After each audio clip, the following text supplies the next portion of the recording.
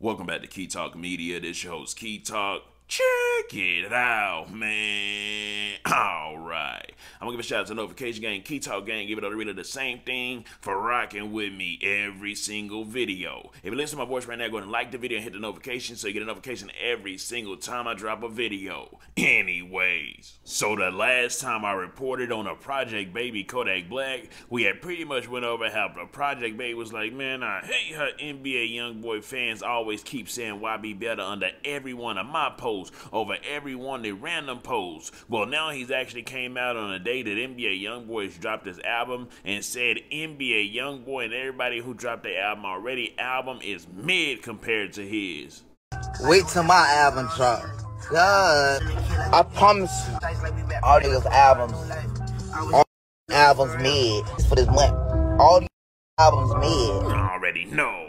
The Project Baby then came back and had the double down on what he was saying, pretty much standing on he don't rock with the Project Baby's uh, fans. And then also he hunts on by saying, check out his album. He said, bruh, I like Young Boy. It's just this nigga fans, homie, or whoever the behind this YB better stuff. That stuff be irritating. Can't nobody else say they don't feel me. Uh, too real. I ain't hating on nobody. I just say what everybody else scared to say anyways. So the Project Baby's pretty much saying, hey, you know what I'm talking about? I ain't the only one who feel this way. That NBA YoungBoy fans are way too extreme, you know what I'm talking about? Now, nobody knows how the Project Baby would act if his fans had started to like Kodak Better or something like that and were just going as extreme as the NBA YoungBoy fans. But as of right now, the Project Baby's just saying, man, I'm not alone when I say this. So maybe he's reaching out for other people to be like, standing up one by one. Hey, I believe that YB fans are too good.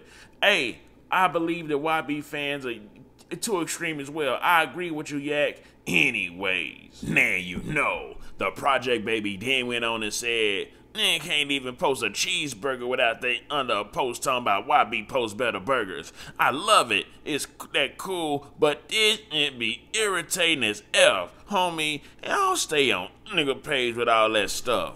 And then, of course, the Project Baby went on to not only promote his album, but say he felt like getting people out the way. He said, anyway, my new stuff finna drop soon, and I ain't nobody with it. The album, period. I'm deleting my page too, because I'm tired of all this. Uh, mm, mm, and I'm like, kill him up. Uh, this whole fame internet stuff bogus. I'ma keep thugging in my little corner over here. Anyways, so the Project Baby still not feeling him. He a young boy. Well, he said he rocks with NBA YoungBoy. He just dislikes his fans, you know what I'm talking about? And he wants NBA YoungBoy to tell his fans to stop doing that towards him. And also, you know what I'm talking about, because of those fans, they've got the Project Baby Kodak Black in a mode to start turning people in the pack. So he said he's going to deactivate his Instagram. Let me know something.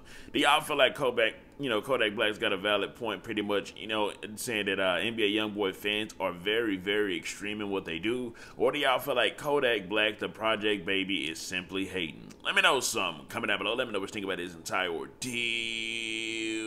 I'm out.